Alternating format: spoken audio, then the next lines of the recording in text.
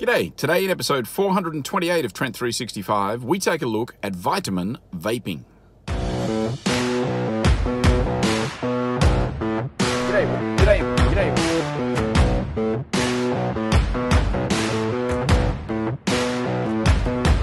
Remember vaping? It was all the rage a couple of years ago. These days, I know there's some cities where it's actually banned. You can't even sell it anymore.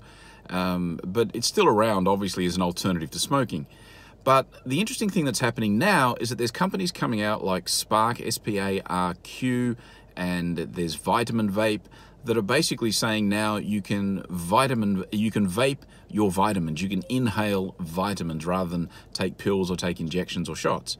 And the scary thing about this is there's a lot of talk about the data and the research and the science behind it. But the little bit that I've looked out looked at about it, there's not a lot of real valid current science. There's reports going back from the 50s and 60s. Obviously, there, there's a lot of advances since then. Um, and a lot of the other stuff that, that's out there backed as research or, or claimed as research is kind of sketchy to say the least. Now, I'm not saying there's actually anything wrong with it. I don't know.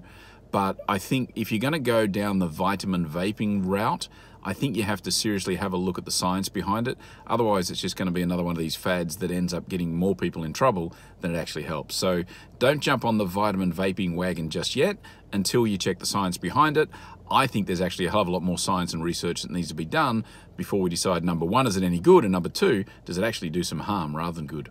Alrighty, that's it for today. Thanks for tuning in. I will be back again tomorrow. See ya.